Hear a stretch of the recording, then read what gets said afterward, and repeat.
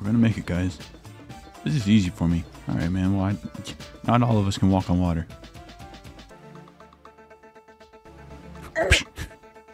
Broke his knee. Cause I feel like I could, uh, I could kayak right now. After this game, I know how to do it.